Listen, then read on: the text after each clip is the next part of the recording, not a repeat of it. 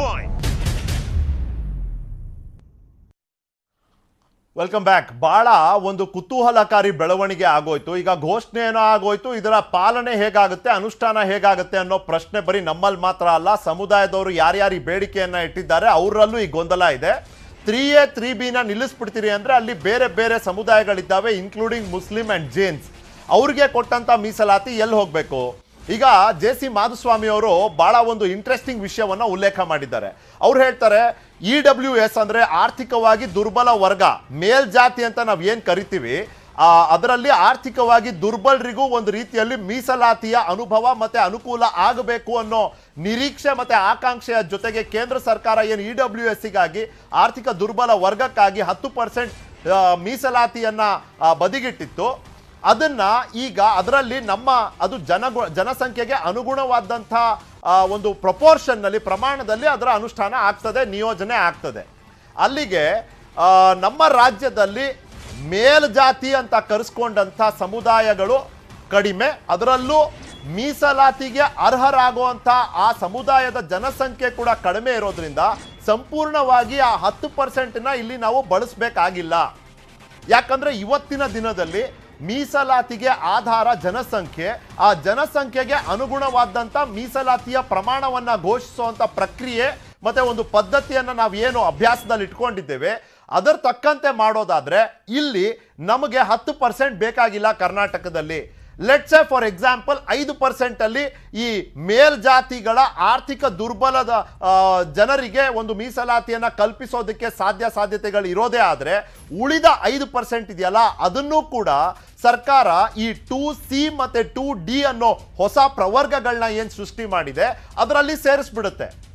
ಸದ್ಯಕ್ಕೆ J C Madhuswamy ಅವರ ಮಾತನ್ನ ತಗೊಂಡು ನಾವು ಈ ಚರ್ಚೆಯನ್ನು ಮಾಡೋದಾದ್ರೆ ಅಥವಾ ನಾವು ಅರ್ಥೈಸ್ಕೊಳ್ಳುವಂತ ಪ್ರಯತ್ನವನ್ನ ಮಾಡೋದಾದ್ರೆ ಅಲ್ಲಿ ಇದ್ದಿದ್ದು ಒಂಬತ್ತು ಪರ್ಸೆಂಟ್ ಇಲ್ಲಿ ಫಾರ್ ಎಕ್ಸಾಂಪಲ್ ಸಿಕ್ತು ಮೂರು, ನಾಲ್ಕು ಅಥವಾ ಐದು ಪರ್ಸೆಂಟ್ ಅದು ಇದ್ರ ಜೊತೆ ಜೋಡಣೆ ಆಗಿ ಒಂಬತ್ತು plus whatever comes from the E W S quota ಅದು ಇದು ಸೇರಿ ಹತ್ತು, ಹನ್ನೆರಡು, ಹದಿನಾಲ್ಕು ಪರ್ಸೆಂಟ್ ಆಗುವಂತ ಸಾಧ್ಯತೆ ಕೂಡ ಇರುತ್ತೆ. ಜೆ ಸಿ ಮಾಧುಸ್ವಾಮಿ ಅವರು ಇದರ ಬಗ್ಗೆ ಉಲ್ಲೇಖ ಮಾಡಿದಂಥ ಸಂದರ್ಭ, ಅವರ ಮಾತು ಕೇಳೋಣ.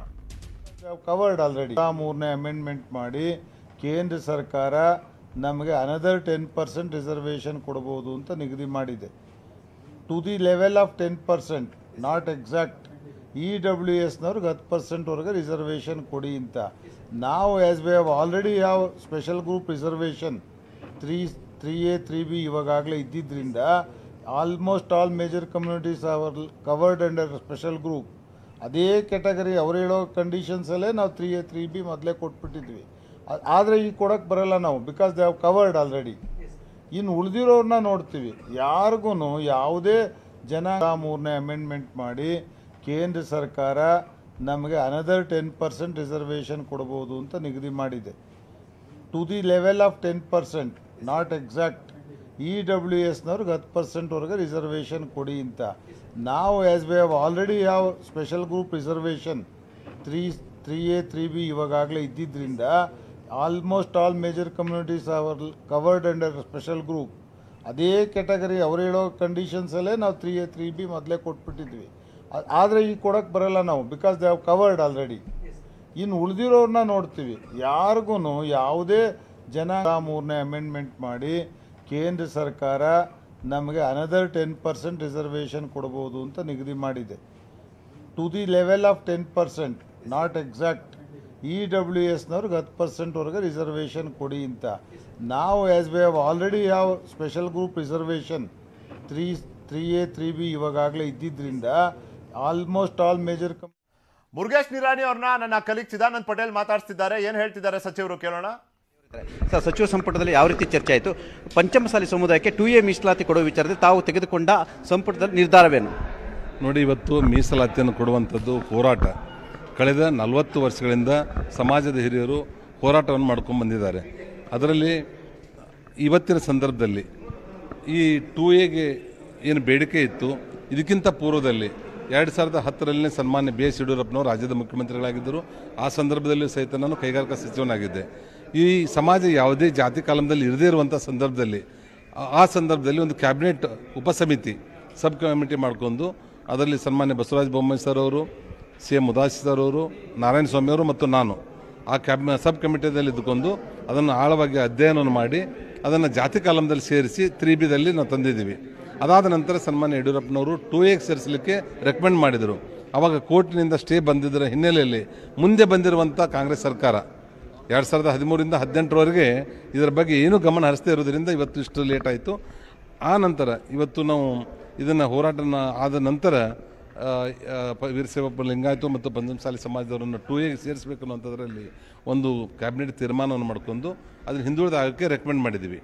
ಆ ರಿಜಿಸ್ಟ್ರೇಷನ್ ಮಾಡಿ ರೆಕಮೆಂಡ್ ಮಾಡಿದ ನಂತರ ಕಳೆದ ಒಂದು ಒಂದೂವರೆ ವರ್ಷದಿಂದ ಸತತವಾಗಿ ಒಂದು ಅಧ್ಯಯನವನ್ನು ಮಾಡಿ ಹೋಬಳಿ ಮಟ್ಟದಿಂದ ತಾಲೂಕು ಮಟ್ಟದಿಂದ ಜಿಲ್ಲಾ ಮಟ್ಟದಿಂದ ಅವ್ರ ಸಂಪರ್ಕವನ್ನು ಮಾಡಿ ಮಧ್ಯಂತರ ಒಂದು ವರದಿಯನ್ನು ನಮ್ಮ ಕ್ಯಾಬಿನೆಟ್ಗೆ ಕೊಟ್ಟಿದ್ದಾರೆ. ಸರ್ ಮಧ್ಯಂತರ ವರದಿ ಆಧಾರದ ಮೇಲೆ ಕ್ಯಾಬಿನೆಟ್ನಲ್ಲಿ ಪಂಚಮಸಾಲಿ ಸಮುದಾಯಕ್ಕೆ ಯಾವ ಪ್ರವರ್ಗವನ್ನು ಕೊಟ್ರಿ? ಹಾಂ.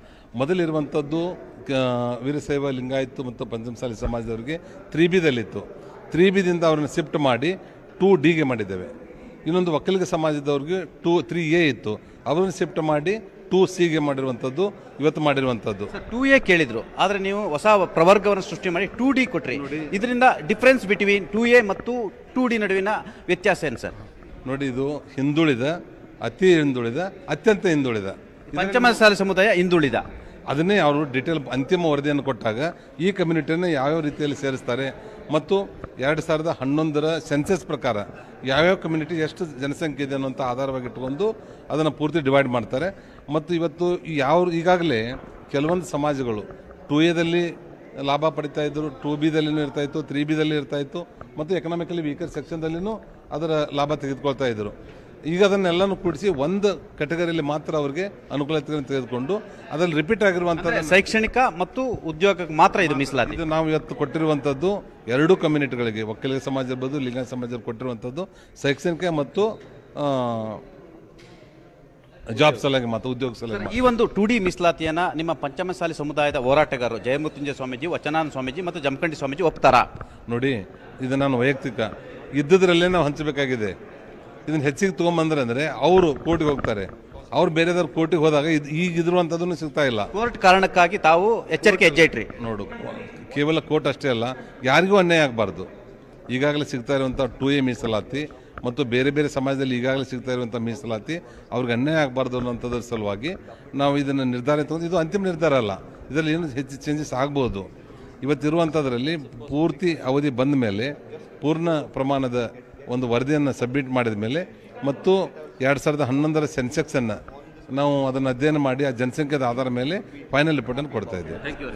ಇವಿಷ್ಟು ಸಚಿವ ಮುರುಗೇಶ್ ನಿರಾಣಿಯವರ ಅಭಿಪ್ರಾಯ. ಒಟ್ಟಾರೆ ಟು ಎ ಮೀಸಲಾತಿಗಾಗಿ ಹೋರಾಟವನ್ನು ಮಾಡಿದ್ರು. ಆದರೆ ನಾವು ಟು ಎ ಮೀಸಲಾತಿಯಲ್ಲಿ ಬರ್ತಕ್ಕಂಥ ನೂರ ಹನ್ನೆರಡು ಸಮುದಾಯಗಳಿಗೆ ಎಲ್ಲ ಒಂದು ಕಡೆ ಅನ್ಯಾಯ ಆಗ್ತಿತ್ತು. ಹಾಗಾಗಿ ಈ ಒಂದು ಶಾಶ್ವತ ಹಿಂದುಳಿದ ವರ್ಗದ ಆಯೋಗದ ಮಧ್ಯಂತರ ವರದಿ ಪ್ರಕಾರ ಹಿಂದುಳಿದ ಅತ್ಯಂತ ಹಿಂದ- ಹಿಂದುಳಿದ ವರ್ಗವಾಗಿ ಅಲ್ಲಿ ಡಿವೈಡ್ ಅನ್ನು ಮಾಡಿದ್ರು. ಹಾಗಾಗಿ ನಾವು ಅನಿವಾರ್ಯವಾಗಿ ಶೈಕ್ಷಣಿಕ ಮತ್ತು ಉದ್ಯೋಗ ಮೀಸಲಾತಿಯನ್ನು ಪಂಚಮಸಾಲಿಯವರಿಗೆ ಟು ಡಿನಲ್ಲಿ ಅಂದ್ರೆ ಹೊಸ ಪ್ರವರ್ಗವನ್ನು ಸೃಷ್ಟಿ ಮಾಡಿಕೊಟ್ವಿ. ಈ ಟು ಡಿಗೆ ವೀರಶೈವ ಪಂಚಮಸಾಲಿ ಲಿಂಗಾಯತರು ಎಲ್ಲರೂ ಕೂಡ ಸೇರ್ಪಡೆಗೊಳ್ತಿದ್ದಾರೆ. ಹಾಗೂ ಇವರಿಗೆ ಇವ್ರು ಕೇಳಿದಂಥ ಉದ್ಯೋಗ ಮತ್ತು ಶಿಕ್ಷಣದಲ್ಲಿ ಮೀಸಲಾತಿಯನ್ನು ಕೂಡ ನಾವು ಕಲ್ಪಿಸಿಕೊಟ್ಟಿದ್ದೀವಿ ಎಂಬ ಮಾತನ್ನು ಕೂಡ ಹೇಳಿರುವಂಥದ್ದು. ಒಟ್ಟಾರೆ ಒಂದು ಕಡೆ ಟು ಎ ಮೀಸಲಾತಿಗಾಗಿ ಪಂಚಮಸಾಲಿ ಸಮುದಾಯ ದೊಡ್ಡ ಮಟ್ಟದ ಹೋರಾಟವನ್ನು ಹಮ್ಮಿಕೊಂಡಿತ್ತು. ಇವತ್ತು ಅದಕ್ಕೆ ಗಡುವು ಕೂಡ ಕೊಟ್ಟಿತ್ತು. ಆದರೆ ಸರ್ಕಾರ ಅನಿವಾರ್ಯವಾಗಿ ಹೊಸ ಪ್ರವರ್ಗವನ್ನು ಸೃಷ್ಟಿ ಮಾಡಿ ಟು ಡಿ ಅನ್ನು ಕೊಟ್ಟಿರುವಂಥದ್ದು. ಹಾಗಾಗಿ ಪಂಚಮಸಾಲಿ ಸಮುದಾಯದ ಹೋರಾಟಗಾರರಾಗಿರ್ತಕ್ಕಂಥ ಜಯಮೃತ್ಯುಂಜಯ ಸ್ವಾಮೀಜಿ ಸೇರಿದಂತೆ ಅನೇಕ ನಾಯಕರುಗಳು ಸರ್ಕಾರದ ಈ ಒಂದು ಟು ಡಿ ನಿರ್ಧಾರವನ್ನು ಒಪ್ಪಿಕೊಳ್ಳುತ್ತಾ ಅಥವಾ ಬಿಡುತ್ತಾ ಅನ್ನೋದು ಸದ್ಯದ ಯಕ್ಷ ಪ್ರಶ್ನೆ ಅಂತ ಹೇಳ್ಬೋದು. ಕ್ಯಾಮ್ರಾ ಪರ್ಸನ್ ಯೋಗೀಶ್ ಜೊತೆ ಚಿದಾನಂದ್ ಪಟೇಲ್ ನ್ಯೂಸ್ ಏಟಿನ್ ಕನ್ನಡ ಸುವರ್ಣಸೌಧ, ಬೆಳಗಾವಿ. ಆ ಒಂದು ಯಕ್ಷ ಪ್ರಶ್ನೆಯ ಜೊತೆ ಮತ್ತೊಂದು ಯಕ್ಷ ಪ್ರಶ್ನೆ, ಈಗ ಒಕ್ಕಲಿಗರು ಕೇಳಿರುವಂಥದ್ದು ನಮಗೂ ನಾಲ್ಕರಿಂದ ಹನ್ನೆರಡು ಪರ್ಸೆಂಟಿಗೆ ಏರಿಕೆ ಮಾಡಬೇಕು ಆ ಮೀಸಲಾತಿಯ ಪ್ರಮಾಣವನ್ನ ಅಂತ. ಅದರಲ್ಲಿ ನಾ ಒಕ್ಕಲಿಗ ಸಮುದಾಯದ ಶ್ರೀಗಳಾದ ನಿರ್ಮಲಾನಂದನಾಥ ಶ್ರೀಗಳು ಏನು ಹೇಳಿದ್ರು?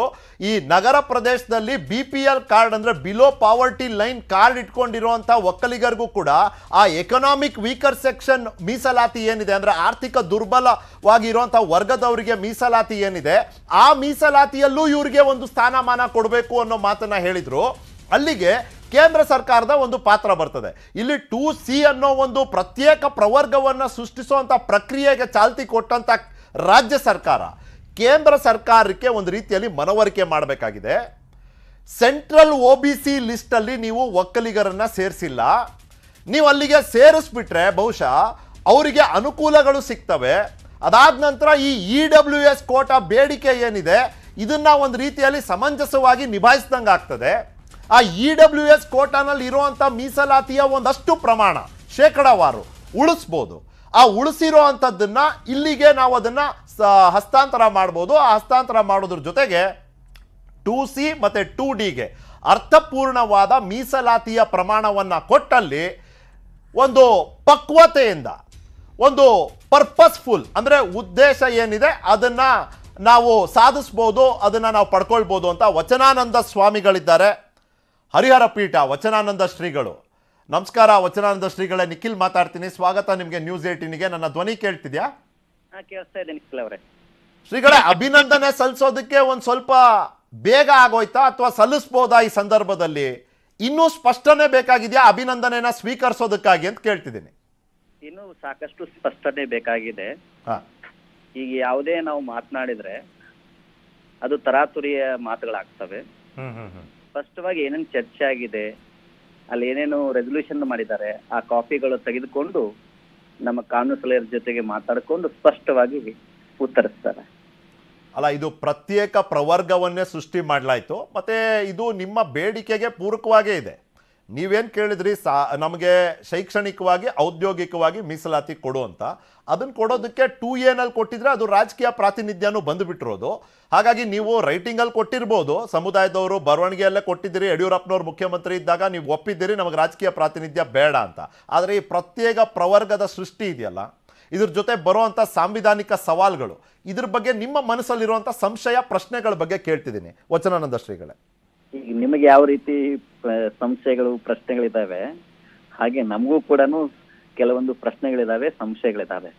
ಇವತ್ತು ಯಾವ ರೀತಿ ಚರ್ಚೆ ಆಯ್ತು? ಅದಕ್ಕೆ ಈಗಂದ್ರೆ ಮೇಲ್ನೋಟಕ್ಕೆ ಏನ್ ಕಾಣ್ತಾ ಇದೆ ಅಂದ್ರೆ ತ್ರೀ ವರ್ಗವನ್ನ ತೆಗೆದಿದ್ದಾರೆ ಅಂತ. Correct three A three B ಅಂದ್ರೆ ಕಂಪ್ಲೀಟ್ ಈಗ ಪ್ರವರ್ಗ ಒಂದು ಪ್ರವರ್ಗ ಎರಡು. ಎಸ್ ಸಿ ಎಸ್ ಟಿ ಅಷ್ಟೇ ಇದೆ ಈಗ. ಅದೆಲ್ಲ ಅಷ್ಟಷ್ಟೇ ಇರುತ್ತೆ. ಅದನ್ನ ಯಾವ್ದು ಮುಟ್ತಾ ಇಲ್ಲ ಶ್ರೀಗಳೇ. ಅದನ್ನ ಯಾವ್ದು ಮುಟ್ತಾ ಇಲ್ಲ. ಹಾಗಾಗಿ ಇದು ಏನೇನ್ ಚರ್ಚೆ ಆಗಿದೆ ಏನೇನು ಡಿಸ್ಕಷನ್ ಮಾಡಿದ್ದಾರೆ ಪರ್ಸೆಂಟೇಜ್ ಏನು ಅನ್ನೋದು ಯಾವುದು ಸ್ಪಷ್ಟ ಇಲ್ಲ ಇಲ್ಲಿ. ಇಲ್ಲಿಂದ ಅಲ್ಲಿ ಶಿಫ್ಟ್ ಮಾಡಿದೀವಿ ಅಂತ ಮಾಧುಸ್ವಾಮಿ ಅವರು ಹೇಳಿದ್ರು. ಅಂದ್ರೆ ವೀರಶೈವ ಲಿಂಗಾಯತ ಏನು ತ್ರೀಬಿಲ್ ಇದ್ರು ಅವ್ರನ್ನ ಟೂ ಡಿಯಲ್ಲಿ ಹಾಕಿದ್ದೀವಿ. ಒಕ್ಕಲಿಗರು ಮತ್ತು ಒಕ್ಕಲಿಗರಲ್ಲಿರುವಂತ ಆ ಸ್ತ್ರೀಯಲ್ಲಿರುವಂತದನ್ನ ಟೂ ಸಿ ಮಾಡಿದ್ದು ಅಂತ ಹೇಳಿದ್ದಾರೆ. ಅದನ್ನ ಯಥಾವತ್ ಅದೇ ಪರ್ಸೆಂಟೇಜ್ ಮಾಡ್ತಾರ ಅಥವಾ ಹೆಚ್ಚಿಗೆ ಮಾಡ್ತಾರ, ಎಷ್ಟು ಮಾಡ್ತಾರೆ ಅನ್ನೋದ್ರ ಬಗ್ಗೆ ಯಾವುದೇ ಸ್ಪಷ್ಟನೆ ಕೊಟ್ಟಿಲ್ಲ. ಅದಕ್ಕೂ ಹಿಂದುಳಿದ ವರ್ಗದ ಆಯೋಗ ಶಿಫಾರಸು ಮಾಡಿ ಅವ್ರನ್ನ ಅವರೊಂದು ವರದಿ ಕೊಡ್ಬೇಕು ಅಂತ ಕೇಳ್ಕೊಂಡಿದ್ದಾರೆ ಇವರು. ಇನ್ನು ಎರಡ್ ಮೂರು ತಿಂಗಳು ಆಗುತ್ತೆ ಅಂತ ಅವ್ರು ಹೇಳಿದ್ದಾರೆ ಅವರು.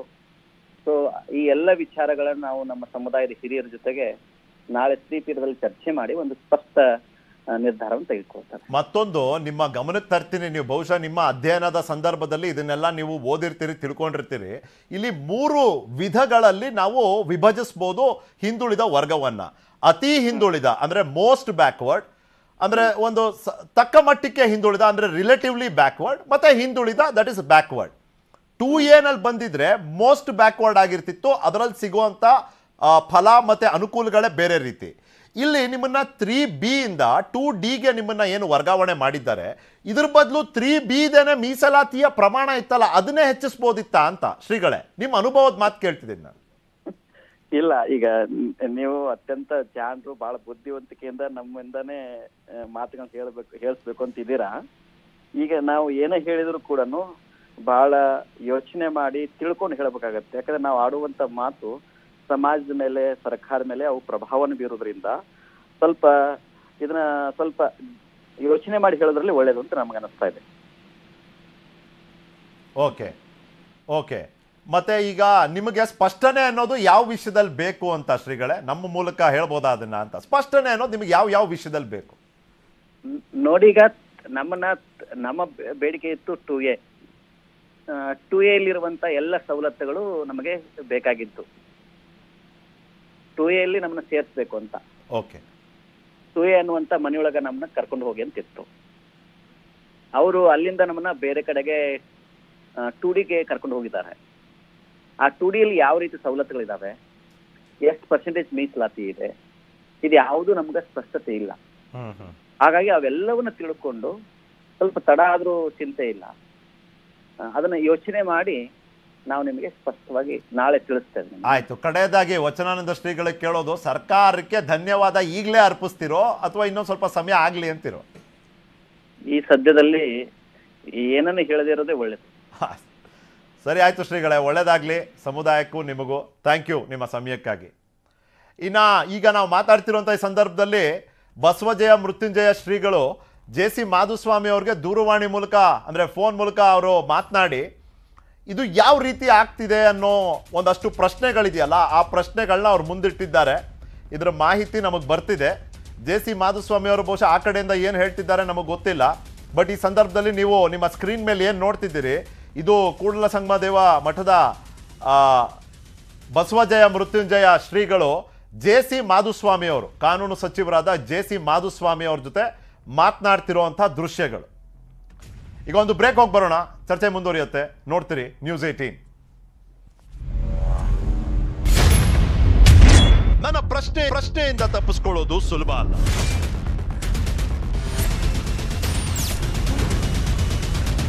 To the point